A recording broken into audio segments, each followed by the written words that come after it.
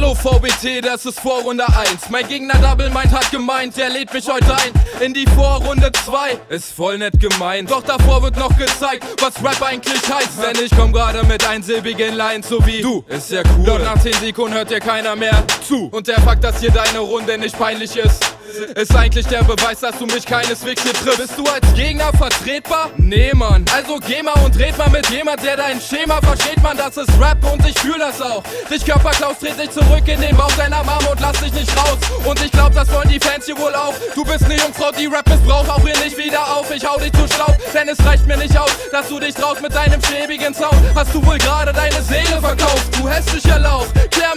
auf, was machst du hier? Bist du denn krank oder hast du zu lange am Kleber gekauft? Sag mal, soll ich erste Hilfe leisten? Leute wie du leben meistens in der Psychiatrie und reden fleißig über Käsescheiben.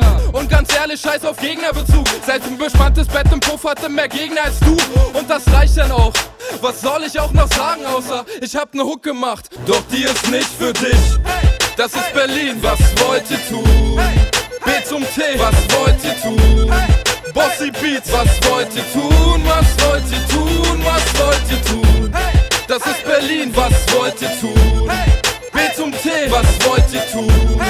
Musterschüler, was wollt ihr tun? Was wollt ihr tun? Was wollt ihr tun? Das ist Berlin.